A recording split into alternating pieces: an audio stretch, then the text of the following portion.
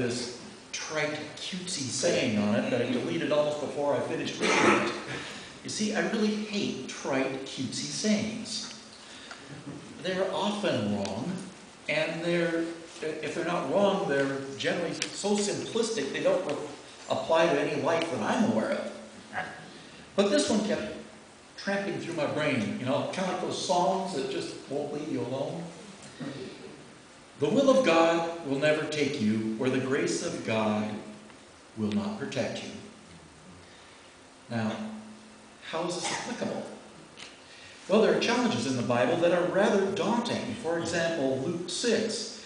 But to you who are listening, I say, love your enemies. Do good to those who hate you. Bless those who curse you. Pray for those who mistreat you. If someone slaps you on the cheek, turn them the other one also.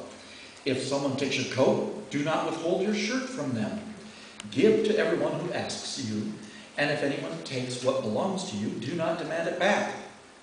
Do to others as you would have them do to you. Do not judge, and you will not be judged. Do not condemn, and you will not be condemned. Forgive, and you will be forgiven.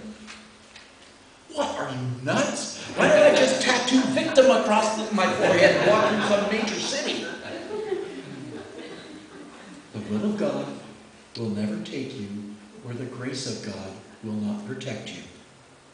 And remember Matthew 10, Jesus sends out his disciples, telling them, As you go, proclaim this message. The kingdom of heaven is near. Heal the sick, raise the dead, cleanse those who have leprosy, drive out demons. Freely you have received, freely give. Pretty cool. But then it goes on.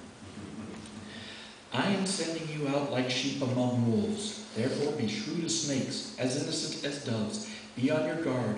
You will be handed over to local councils to, and be flogged in the synagogues. On my account, you will be brought before governors and kings as witnesses to them and to the Gentiles.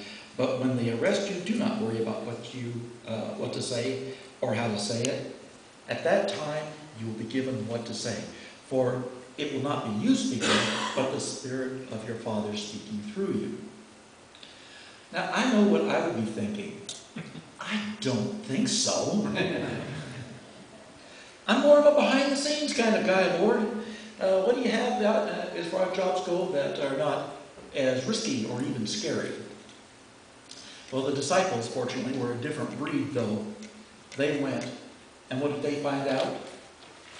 The will of God will never take you where the grace of God will not protect you. Verse 17. They returned with joy and said, Lord, even the demons submit to us in your name. Sometimes, even the simple act of giving can be scary.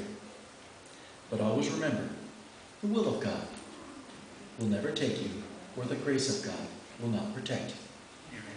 Let's pray. Father, what a privilege it is to be able to give to your kingdom, to help accomplish your will, to see your grace magnified.